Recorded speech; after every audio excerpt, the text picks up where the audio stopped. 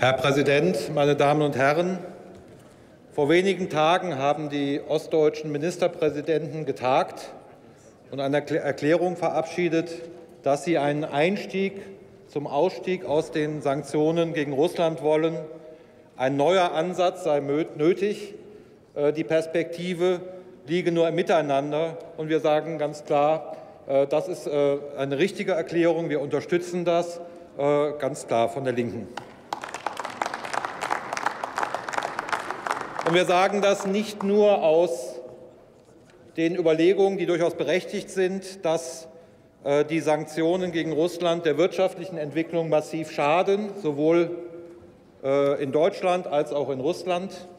Wir sagen das auch aus grundsätzlichen Überlegungen. Und äh, das war einer der Gründe, warum wir als einzige Fraktion hier im Bundestag von Anfang an gegen diese Sanktionen waren, gegen die Wirtschaftssanktionen, weil sie nämlich immer die Zivilbevölkerung treffen und weil sie die Kooperation behindern und jetzt in einer Konstruktion angelegt sind, die einen Ausstieg relativ schwierig macht.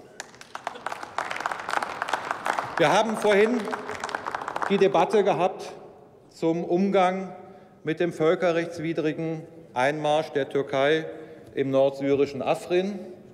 Und wir haben hier nicht Wirtschaftssanktionen gefordert, weil das der falsche Ansatz auch hier wäre.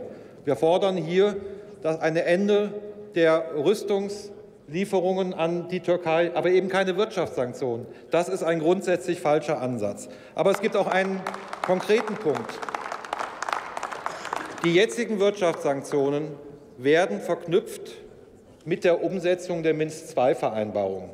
Die Minsk-II-Vereinbarungen, die wir unterstützen, sind Vereinbarungen zwischen der ukrainischen Seite und den Separatisten im Osten des Landes, die wiederum von Russland unterstützt werden. Es gibt aber nur eine Kopplung, eine Sanktionskopplung an einen Konfliktpartner, obwohl es zwei Konfliktparteien gibt. Und es gibt keine, keinen Druck auch auf die ukrainische Seite, die durchaus auch Konfliktpartner ist.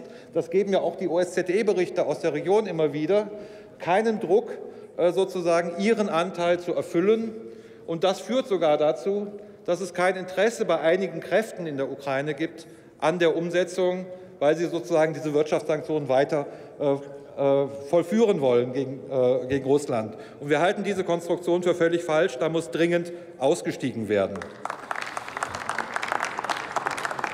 Das auch vor dem Hintergrund, dass gegenwärtig im ukrainischen Parlament ein Gesetz diskutiert wird, das explizit als Alternative zu Minsk II dort diskutiert wird, das dem Präsidenten die Möglichkeit gibt, das Militär in allen Regionen des Landes im Inneren einzusetzen. Die Opposition läuft dagegen Sturm und das wird äh, sozusagen Minsk II ersetzen oder soll Minsk II ersetzen. Und wir lehnen das ganz, ganz deutlich ab und erwarten, dass auch von der Bundesregierung entsprechende Signale kommen. Meine Damen und Herren, wir haben letzte Woche die EDC-Verträge äh, gefeiert, die Aussöhnung mit Frankreich.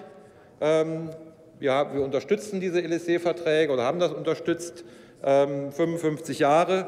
Leider hat es eine solche Aussöhnung mit dem anderen großen äh, historischen Gegner Deutschlands in zwei Weltkriegen nicht gegeben mit Russland.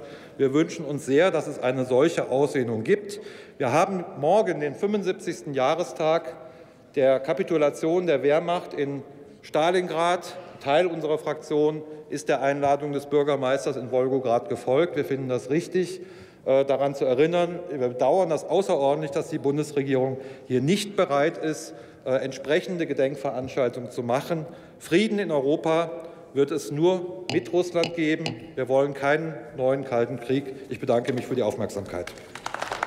Vielen Dank, Herr Kollege Hunko. Als nächstes für die CDU-CSU-Fraktion die Kollegin Elisabeth Matschmann.